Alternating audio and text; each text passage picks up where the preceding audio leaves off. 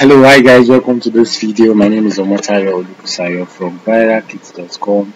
So in this video, I want to show you how you can set up a mailing server SMTP to send unlimited emails in a day.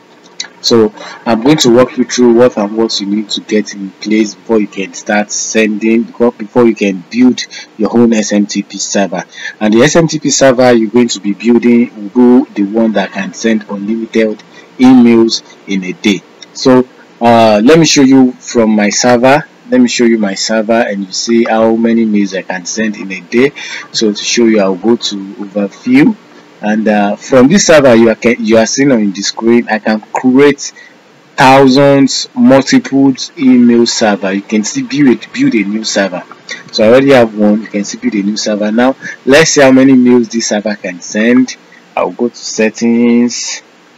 Then um, I will go to send limits and see how many mail we can send out in a day.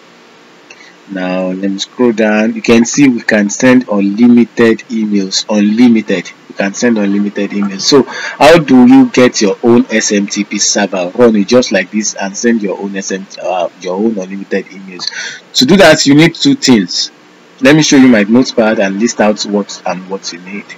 So guys, this is my notepad. Two things. You need four things can see on your screen you need a VPS machine and you can get your VPS machine from Contabo or Digital Ocean so Digital Ocean is a VPS platform they sell VPS so you can get your VPS from Digital Ocean or you get it from Contabo you also need a domain you can get domain from Namecheap or GoDaddy. You need a PuTTY. PuTTY is a window application that can be downloaded for free. You can download it for free and you need WinSCP also so how do you get your vps machine? Let me open my browser. I'm going to use contabo.com so we're going to buy vps from contabo so go to contabo.com so here is contabo.com you can check their uh, their pricing list. So uh, i'm just going for these. Click on see all vps models then you come down and select this. Once you select this okay then you have this. You can see just leave everything like this. One month if you want to pick more than one month you can pick this. So i will pick one month. Leave the region as european union germany. Leave everything like this. Then make sure you are picking ubuntu ubuntu 20.04 then leave everything like this then go down again. It's advisable for you to get two v two ips so in case uh, it's advisable for you to get two ips so just pick two ip and uh, scroll down. So everything you'll be paying you'll be paying 17 dollars for the first month and uh, for the next month you'll be paying 10.99 dollars. So which means you're gonna be paying you're gonna buy vps at 10.99 dollars every month. So click on next. You can pay with your paypal or you pay with your credit card.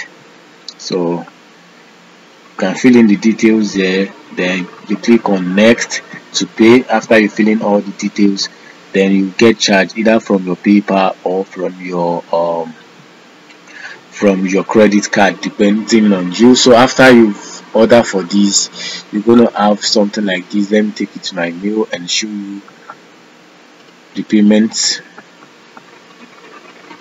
okay so you get a mail like this uh that thank you very much for your order. So your payment is received and the rest. So after that you're going to get your um your your order. You see this is my order now. Let me open this. So here you get your address your username and your password will be there. So i don't want to disclose my password. So i'm just going to log in using this link. Then you put in your email and the password i will be given to you. So let's wait for it. So while this is coming up let's go to namecheap the second option which is you getting domain so you have to get a domain from namecheap or godaddy. So i advise you get domain from namecheap so i'll open a new tab open a new tab then go to namecheap uh, namecheap.com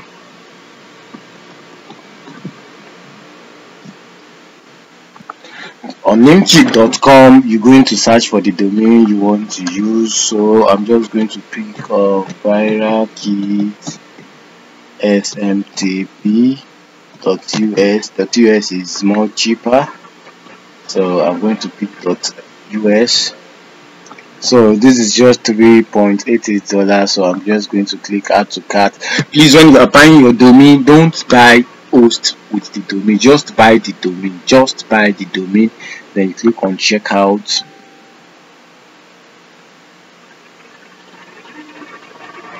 So if you have any code you can apply the code here. And if you don't you click on confirm order. Then you get charged from your PayPal or from your credit card. So I'm just going to um, log into my account. I'm not going to buy any domain right now because I've already have an account I'm using. So I'm just going to log in. My account right here.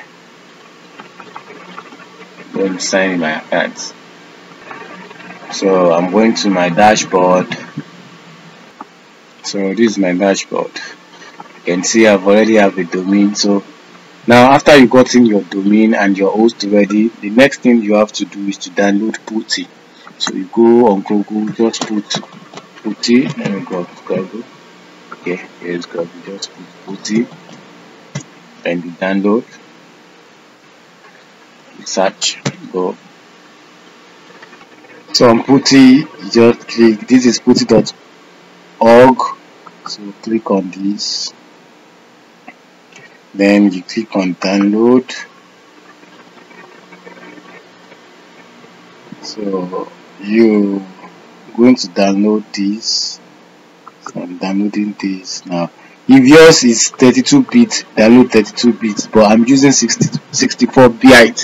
So that's why I'm downloading this now. So you check from your computer to download the right one on your PC so once it's done right then open this.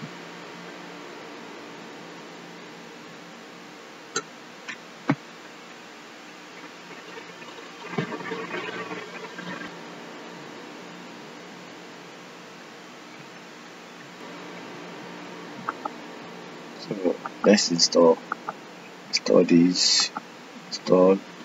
So the installation is going on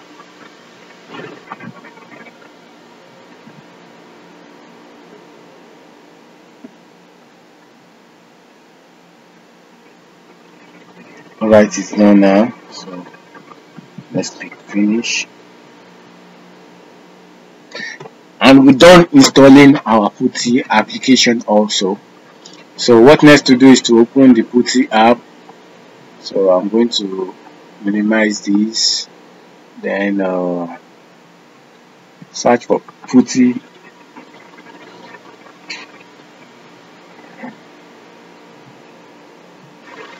so this is putty or you can just search for putty. Mm, sorry. Putty. Where is it?